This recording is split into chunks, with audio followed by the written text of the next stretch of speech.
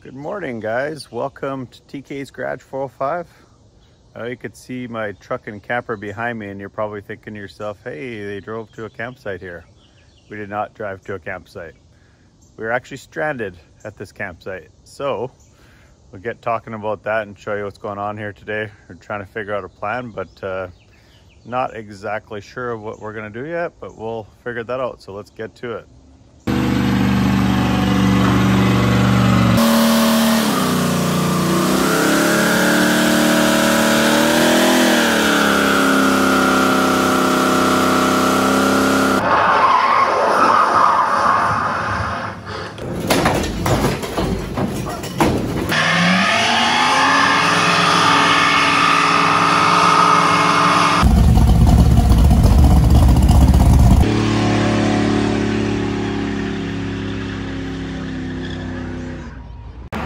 All right, well, I'm not saying that uh, some people don't have bad luck, but if you compare it to my luck, it's probably pretty good luck. I think we just blew the engine in our truck, the one that has like 50,000 miles on it. Just note to self why I hate diesels. Look at this traffic. We're on a interstate in St. Louis here. Frickin' people don't even slow down coming by. It's looking wild. Look at this.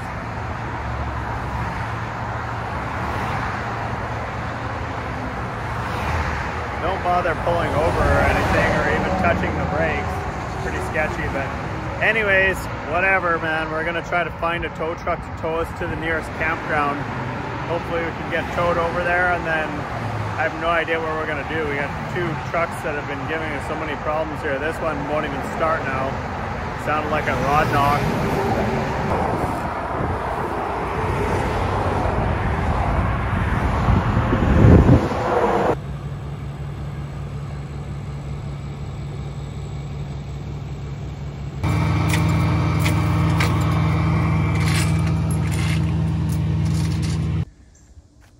All right, guys. So last night we were coming home from the Michigan, the Michigan Faster Horses Festival here, and we ended up uh, breaking down right in the interstate in St. Louis in the worst possible spot we could have broken down, where people are flying by us two inches away. Pretty sketchy, actually.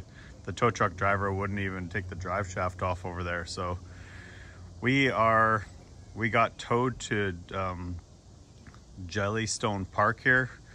Uh, was a pull through site you can see so he could just basically pull us through. So now we're gonna try to get an Uber and uh, see what we're gonna figure out here. So yeah, so like I said, we're gonna try to get an Uber, see if we can go um, I actually, we had just looked at a truck yesterday because I was kind of, this thing was making a couple weird noises and I was like, man, we should tow the camper home with a different truck and just drive this one and take it easier. Anyways, we're not sure what happened. It sounded like a knock, but the the tow truck driver thought maybe it might sound like more like a fuel knock. So hoping it's nothing too serious. I pulled the codes on it and uh, the code showed up as a knock sensor code here. So we're gonna see what's see what's going on with that when we get home but we're gonna have to tow both home probably separately and then figure it out from there so yeah not sure what's going on but we're gonna go make some miles here. We're waiting for an uber right now so we can go look at this truck. The guy wasn't home he's actually in the hospital but he called us back after i messaged him and said hey we're kind of stranded here now and he's gonna see if he can get the bill of sale and title signed by his son and all this stuff or whatever and then we'll figure it out from there. Yeah.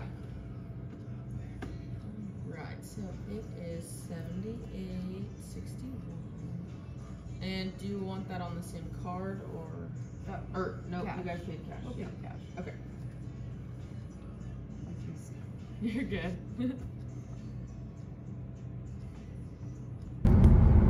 All right, guys, so we're on the road here. We ended up renting a car here this morning. We even had a struggle getting that. They ended up having no clean cars and they were kind of, there was only two people so they couldn't pick us up. So we Ubered over.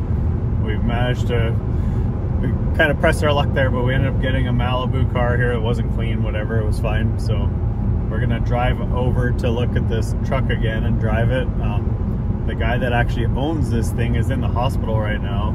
He's supposed to be out on Friday, but he's helping us get connected here with his brother. And he's gonna, if we like it and everything, he's gonna sign the bill of sale and a title, and then hopefully we drive this thing home and we don't have any more serious problems here. So can't can't afford anymore. This is starting to be a very expensive concert vacation. So we're still on our way back from Sadie Bass from the last trip here. So that's the plan anyways. We're gonna go check this thing out. I'll show you what it is when we get there and we'll go from there. So yeah.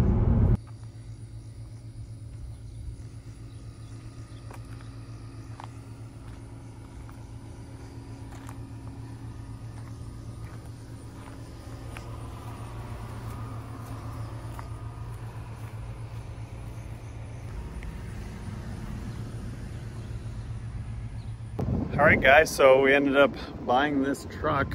Uh, definitely needs a few things for sure. Hopefully it can get us home here. Uh, it wasn't a whole lot of options to buy a vehicle to get home that has a fifth wheel hitch in it any some sort of decent vicinity that we could figure out here. So ended up buying this one and the craziest you can see, we bought it from uh, the owner was in the hospital. It's like a weird story, but yeah, he's in the hospital. So his brother helped us buy it. Um, we came back to the hospital so we could meet the owner. He's having some health troubles there. So he ended up uh, getting all the paperwork done for us in the meantime and all that stuff there. So we went and signed over the title and all that. And yeah, we're, we're going to go through and get back on the road, but give you a little glance at this thing here. Now, if you guys aren't familiar with this truck, this is a 1995 Dodge 3500 and it is a V10 and everybody thinks they have Viper engines in them which is not true. They do have a V10 engine but it's not a Viper engine. But the torque actually was almost the same as what the Vipers had. Completely different engine though. There's a lot of lot of different stuff about it but it had like 300 horsepower and 450 torque for like 19 1995 that was a lot. So the reason that we grabbed this one is because it has a fifth wheel hitch in it so and you can see it needs a hardcore cleaning here. The interior needs to be cleaned out really really badly. So we're gonna go to the car wash here first give it a once over cleaning here. She's pretty dirty. Owner had a dog and all that stuff there so we're gonna give it a hardcore cleaning. It's been sitting the better part of a year here. It does have four back tires just recently put on. The front ones seem okay under the hood didn't look too bad, but the AC is not working. Hopefully it's just low on Freon. I don't know why I do this to myself, but anyways, I'm gonna get over to the car wash here and see if we can get this thing cleaned up.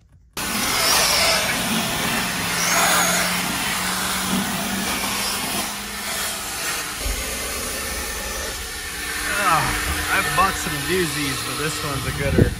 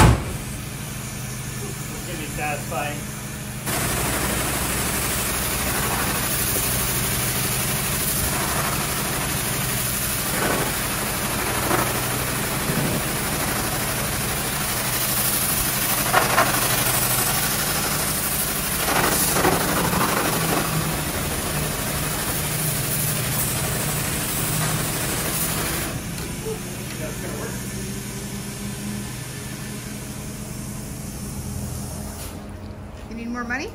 Uh, no, fresh, I guess.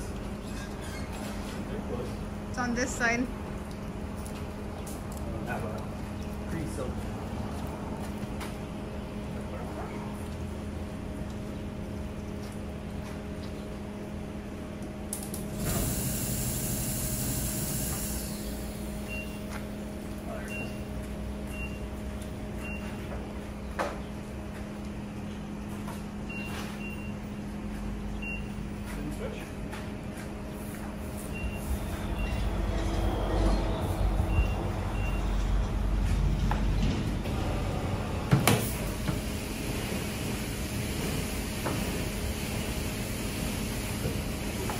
Has to be hand washed.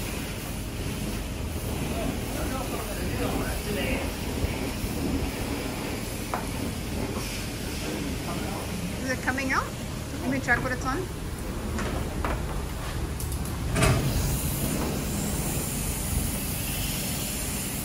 All right, guys, you could see behind me, we cleaned it up a little bit there. Looks a little better.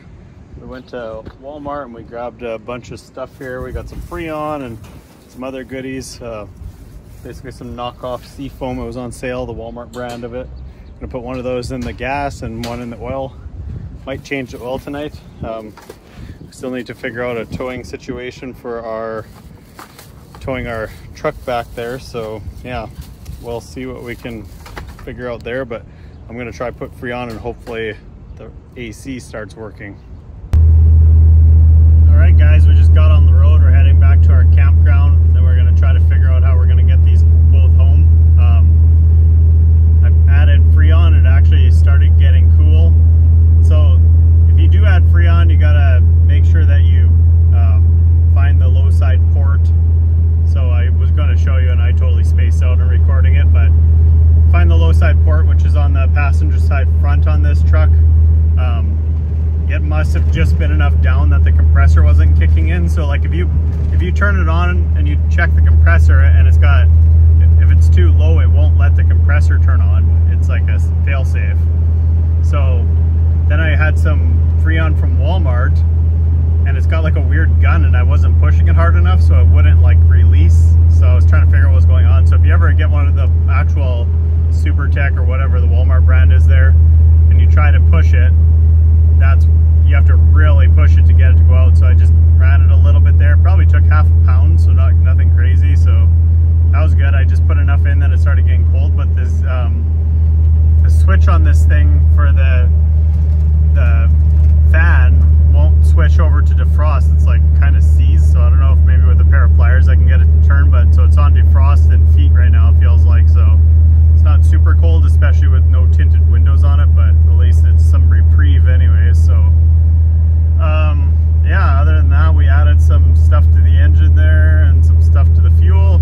We'll uh, burn that off and see, but this thing has like 355 gears in it. So on the highway here, I'll show you. It's got a, you can see I'm going like 70, it's under 2000 RPM. So sometimes people say that could be bad. I can't see how with, it says that these motors make like 450 torque by like 2500 RPM, so it'd probably just run it around without overdrive on. I don't see why there'd be any sort of issue there, but I guess we'll see when I tow something with it.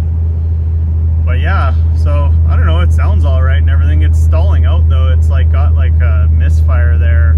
I don't know if it's old fuel or an injector sticking a little bit maybe, or who knows, could be the idle air sensor. Or it looks like uh, the previous owner put spark plugs in it. He put those like four, four tip plugs and sometimes engines are touchy with those and they don't like them. So I might have to switch those again and try that. Maybe put some wires in it at the same time. Looks like it's a pain in the rear to run the wires on this truck, but anyways, so we'll but I'm gonna get back to our campsite and then we'll try to figure out from there. So another day, another adventure. All right, guys, we're like over halfway home. We just stopped to drain our sewer tanks and gray water tank and all that stuff there. So checking everything over. It's definitely, it set off the, set off the carbon monoxide detector in the truck, like in the camper, because it's got no tailpipes on it. So, uh, not sure what's going on there, but It's definitely running rich though, because you can just kind of tell. I said it could be just the misfire thing or whatever, but I don't know if it's doesn't seem like anything too serious. Hopefully it's just a sensor, some bad plugs or wires or something, I'm not sure. There was some rodents, signs of rodents anyways there, so just hoping that not a wire or something didn't get chewed through or whatever, but I'll give it a once over once I'm done with this, getting the other truck home here, but we're like over halfway home here right now, so we should be home in the next few hours here, and then I got to turn around, go back and figure out how I'm going to get the truck either pull my other trailer and try to figure out a way to load it when it's not running or else I'm gonna have to flat tow it with a tow bar and buy a tow bar or something. So we'll figure that out but for now that's what we got going on here. What's up guys? So made it home with the fifth wheel there. Pretty drama free this thing like smells like terribly like fuel I don't know if it's just kind of over fueling or something else is going on, but it's definitely misfiring a little bit. I don't know if that's pertaining to the fuel problem, but for the most part, other than that, it ran pretty decent. You could hear you can hear it sputtering a little on the highway there, but it's like said, I mean, I thought maybe, which is pretty rare, but I thought, well, maybe there's a little bit of old fuel in it. When, we, when I got home there, I pulled the air filter, which was a little bit dirty. It had a K&N air and K&N air filter in it and was definitely a little bit dirty there. So vacuumed that out quickly before I hit the road here again. I turned around, I went straight back to go pick up my truck. So just left my house there. So it's like, I think it's like 800 miles round trip. So I'm going to try to get there tonight, hook up and maybe make a few miles tonight yet. So, um, so yeah, this thing has been running pretty decent. What was very surprising considering it's not really running perfect is getting about six, six point eight, seven miles per gallon somewhere around that range there. Right, right. They were like high sixes to seven flat. And I was going like 75 to 80 the whole way home and it's all hills. It's like rolling hills the whole way. So I thought that was actually super impressive because I think if I could get this um, if I could get this issue sorted out where it's kind of running rough like that, clean up that fuel problem a little bit there, I think it could get eight miles per gallon towing, which would be like, that would be pretty impressive for what it is. I will say it tows honestly probably better than I thought it would just being how it's running. I knew it would tow pretty decent, but the problem with it is with this truck is it's got 355 gears on it. I've heard this from a few different people. So that cap probably weighs, well, how it's loaded, I don't know, probably 10,000 pounds how it is right now, which is a fair bit. It drags a fair bit of wind, but I will say that camper probably feels lighter than it built like a, like a bigger fifth wheel.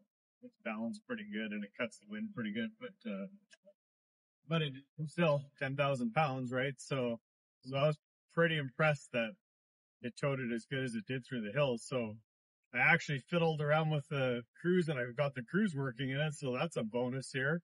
So the cruise is actually working in it now. That makes it a way nicer experience to drive.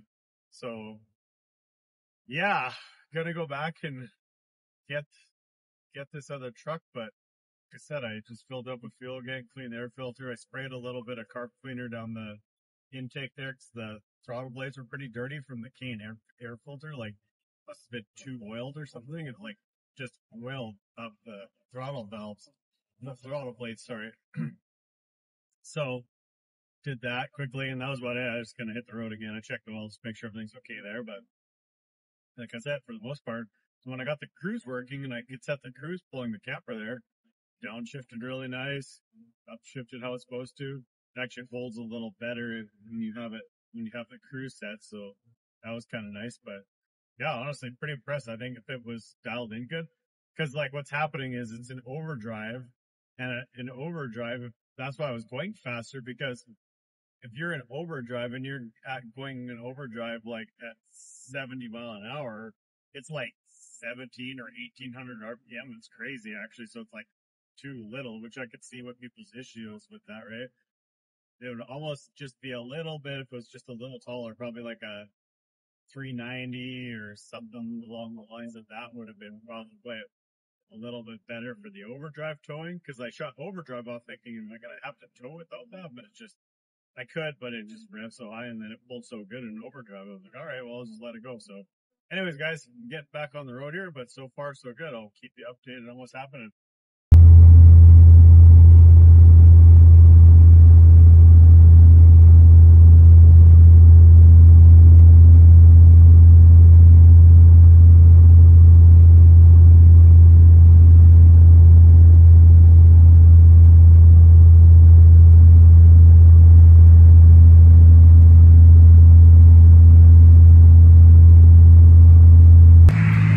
Morning guys, came to pick up the truck. So this thing had uh, some mounts on it that looked like they were set up for a tow bar already. But as per usual, there's problems. So, if you look behind me here, take a look at that. I only went like a quarter of a mile. I was just trying to get it out of the campsite I was in there because they had somebody coming in there today, so I just wanted to move it, and then I was gonna get all the drive shaft off and everything, so I just came down the hill here and parked on the pavement so I wasn't laying in the dirt. Well, it bent up those brackets that were there already and pretty much sheared them in half, so I was trying to figure out a way. I'll show you what's going on here. Okay, so this, I bought a tow bar. This tow bar has these brackets, and normally you just bolt it to whatever you can find. So this thing, I was going to bolt it to these, which obviously I can't now. They were straight when I started. Um, but I started thinking, I wonder if there's any other holes. So I looked and there was this hole here and that hole there. And I had some pins from my fifth wheel. And so I grabbed it. I'll show you here.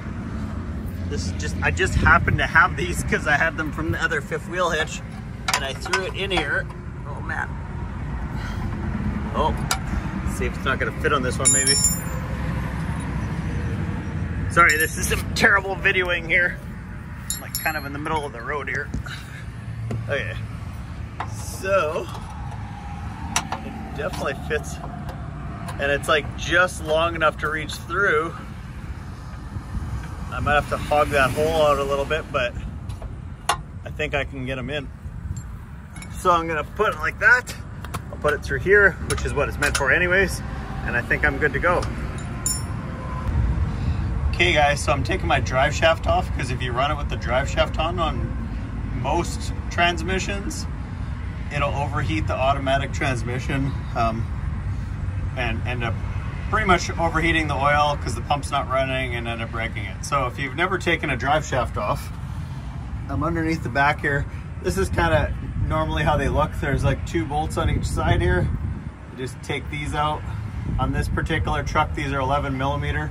So I got to take those straps off, and when you go to pull the cap off, don't drop those caps because there's a bunch of little, uh, little bearings, little beads inside there, basically that are basically bearings for it, and you don't want to drop those because if you end up losing those, you'll have to get new, you have to get a new U joint. So I'm gonna take this off, and then uh, we should be good to go. I'll show you the rest of it here. Okay, so I put the I put the straps back on for the U joints. I dropped it down and you can see this one has a two-piece drive shaft so I'm not pulling it out of the transmission or the transfer case like you normally would. This one's a two-wheel drive so there's no transfer case but but it has a split joint so I just got to pull it apart there and then we'll be on the road. Okay guys, so the last thing that I needed here was some lights. I keep buying, man, I've had probably 10 sets of those lights with the cords on them and they always fall off and break or they don't reach or whatever, they're not wide enough. Well, these are these wireless lights that I bought from uh, Harbor Freight and I'll show you how it works. So you can see I got the hazards on here. All it is is like a little wireless transmitter. Plug it in, you can either do the four prong or the seven prong. I knew, I knew that my seven prong worked, so I used that one. And it comes with this whole little kit here. These, these things are good for, they, they claim up to 100 hours comes with this kit that everything comes with. There's a 12 volt charger. There's a there's a 110 charger. Uh, I think I paid $130 for them. So they're made by Kenway. So we'll see if they last and how they work or whatever. Biggest experience is that they've always fall off from the wind. So we'll see if they actually stay on. They do have the lanyards. I really hope they don't fall off, but if they do try to fall, I'll just move them forward on the truck here. But I'm gonna get cleaned up and finally get on the road here. Okay, so I'll give you a rundown of what I got going on here. This is what I've always done over the years, something similar to this. This maybe isn't a perfect idea here, but you can kind of see you leave it up, leave the steering wheel up and you either, sometimes people will put some stretchy cords on it or whatever, a couple of them, just enough that it turns but doesn't get like all wobbly. So you put it in neutral and then you just have the key off pretty much and that's gonna be it. I think I might take the battery cables off because otherwise it's probably gonna kill the battery on the way there. Okay, so quick recap of what I did here. Put the lights on, took the drive shaft off. I tied the steering wheel up just a little bit here. We'll see how that works. I made sure that all the bolts on here were tight. I should have checked these ones too. I did not check those. I checked all the crossbars here. Um, I have a safety chain that I might put on here actually before we take off, but that's what these are for. And then the chances of that being the exact right size for that was like, I mean, that was a miracle in itself. So fit right through the frame, perfect length. So I guess I'm gonna give that a go. And uh, like I said, there's the adapter for the for the wireless um, lights there. And I think that's about it there. So I'm gonna try to get on the road. Okay, I'm on the road here. Uh, just trying to figure out why it's pulling like absolute garbage. It's like just swaying like crazy, and then I realized the light bulb went on when I put those pins in there, and it's sitting between the frame. It's not tight because there's nothing like normally it's bolted tight to the frame or whatever, so the actual tow bar is tight to the frame. So there's actually slack in that there's slack in the tow bar where I put the pins through. So it's actually sliding back and forth on those pins. So I think what I'm gonna have to do is stop somewhere, find like a Walmart or a hardware store or something where I can pick up some washers, pull those pins out, put washers in, put them back in again. Because it's not gonna, not gonna stay how it is there. Like I'm, I'm towing at about 55 if I want to actually pick up the pace here. I'm gonna have to do that because it's swaying really bad. The only reason it's not swaying worse is because this truck is a dually, so it's not throwing it around as bad as it definitely could be. But even right now, you can see if you look in the mirror there, or the sorry rear window, you can see if I, if I make any sudden movement, it's swaying around, and I'm only going like 55 to 60 at the most here. So I just pretty much had the cruise set to 55 until I can find some washers. So that's where we're at. All right, well, I had to have a red-green moment here. If the women don't find you handsome, they could at least find you handy. so if you look what's going on in here, there's so much slack in this tow bar. So I tried to go get washers and they didn't have any washers here, not enough anyway. So I figured, well, I was gonna get some cable clamps and just tighten them down in there to fill the gap or whatever, but couldn't couldn't find any the right size. So I grabbed some vice grips and that should take the slack out of it. So at least until I could find a place that has something it'll stop it from swaying around hopefully. We'll see if this is stupid or not. It's not stupid if it works. Sometimes there's just a sign. All right guys, just made my last fuel stop. It's funny, I just wanted to give an actual accurate measurement before I said what kind of fuel mileage this thing's getting. I'm driving about 60 to 65 because it's not it was still kind of swaying a little bit and I didn't want it to, it was, well, swaying quite a bit actually still, so I tried to fix that at the last stop, but anyways, the last stop there, it was like 12.4 miles per gallon, and last night I was going about 75 to 80, and I drove all the way there on that tank, and then about, I think it was about 80 miles towing back, and that was about 11.6, so 11, just about 11.7 there, so pretty impressive. I would not have expected that, so I'm honestly kind of blown away by the fuel mileage this thing's getting, and it's not even running good. it's running rich right now, so I feel like there's even better gains to be had here. So I'm gonna hit the road. I'm like an hour and a half from home, probably more like two hours-ish, a little over probably, driving slow, but getting back on the road, but everything else is going okay so far. All right, guys, made it home here. So, um, I had to go fairly slow. I did get the slack out a little bit better at the end there, so it was a little bit better, but I just took it easy anyways in case something something started moving. So, um, so yeah, just kind of a quick recap. You saw my last video there of us going to Michigan for the Faster Horses Festival. This kind of was, uh, ended the video because I didn't think we'd have any more problems, but here's a whole nother video pertaining to that. So last week's video, Oh, our camper AC quit, generator quit, water pump quit, lost 65 gallons of water, blew out a tire, wrecked the side of the camper. Um, what other stuff there? Anyways, then on the way back here, we had the engine problem with this truck that I was just pulling there. So I had to go find another truck. So found this particular truck. I'll do another video separate on that. But yeah, just coming in the corner here, it was like there was a car behind me and they were kind of getting pushy. I should have just went slow anyways, but they were pushing behind me and I kind of came in there to the corner in the gravel there and it actually the truck behind me like just being heavy I guess or whatever it actually pushed me into the corner. It kind of like skidded around a little bit. I was like ooh that was like good to know. So that's another reason I just didn't go too fast but yeah still made it home in decent time. I don't know what time I left there. At probably nine o'clock and it's like 6 30 now so I think it was around 400 miles. So yeah, made another, I guess, what, 800, 1600 more miles than I was planning on. But it is what it is, I guess.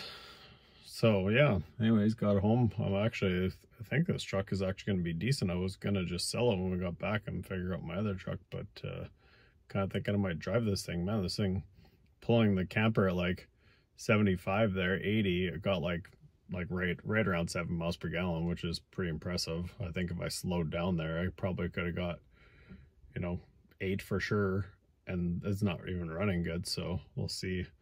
Um, and then yeah, like it was like over 12 today pulling this truck, which is crazy. I know there's no wind or anything, but like that, that's pretty good. This truck is probably 7,000 pounds how it sits right now. So anyways guys thanks for watching again there make sure you like subscribe share me around on social media I'm trying to grow the channel here um TK's garage 405 on instagram youtube and facebook and catch you guys on the next ridiculous adventure